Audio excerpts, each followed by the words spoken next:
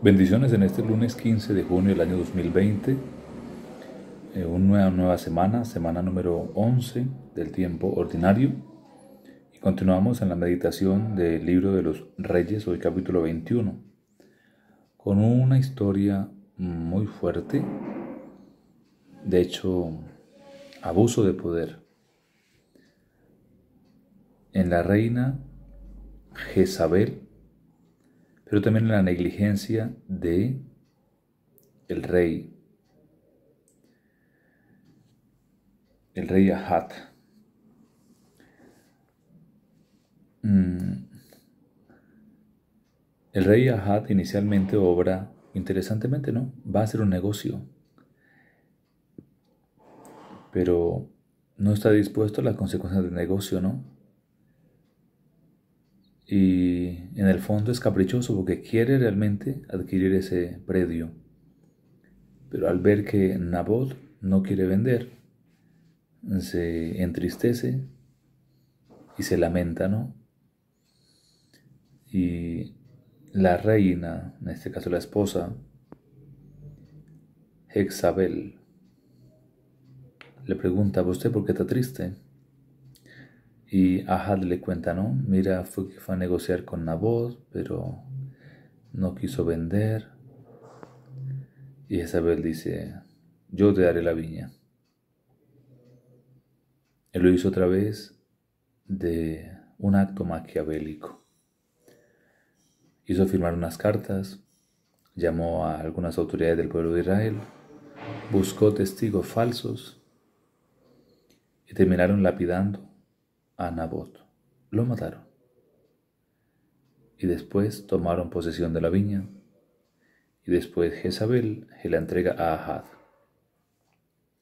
Y Ahad se va a tomar posesión de la viña. No pregunta nada, qué pasó, usted negoció, dónde está Nabot. No, no, no. No le importa nada. Es lo que pasa también hoy en muchas cosas, ¿no? Eh, a veces tú pides cosas, no, ah, yo quiero tener un, vestido. Bueno, de pronto se lo consiguen. Y usted feliz con el vestido, pero no dice de dónde vino, cómo se encontró la plata, qué cosas se hicieron, ¿no? Mm, y a veces hay cosas demasiado escandalosas, ¿no? Y pecaminosas. Así que mis hermanos, hay que tener cuidado, ¿no? Con esos deseos si no tenemos la capacidad de buscar las cosas bien. La Biblia dice, ¿no? Que no venga el pan sin el sudor de tu frente. No dice con el sudor del de enfrente, con la necesidad de los demás. No, no, no. Es con tu esfuerzo, con tu lucha. Por eso hay que pedirle a Dios que nos dé la sabiduría para saber obrar, para saber actuar. Sobre todo para obrar bien, ¿no? Que no utilicemos la fuerza, ¿no? Ah, como yo soy el gerente, como yo soy el gobernador, como yo soy el alcalde, como yo soy el sacerdote, eh, yo tengo el mando y yo puedo hacer lo que yo quiera. No, no, no. No, eso no es verdad. Usted debe hacer el bien porque es la condición de tu oficio. Administrar con sabiduría. No es con autoritarismo. Tiene que orientar a su casa, claro que sí, su esposa, sus hijos, pero bien hecho. No puedes dejarte esclavizar por otras cosas. Bueno, así que bendecido lunes y que el Señor nos dé la gracia de caminar en su presencia y sobre todo de revisarnos en nuestras conductas y en la manera como vamos subiendo, ¿no? No es lícito subir engañando, mintiendo. Hay mucha gente, ¿no? Que falsifica cosas que se presta.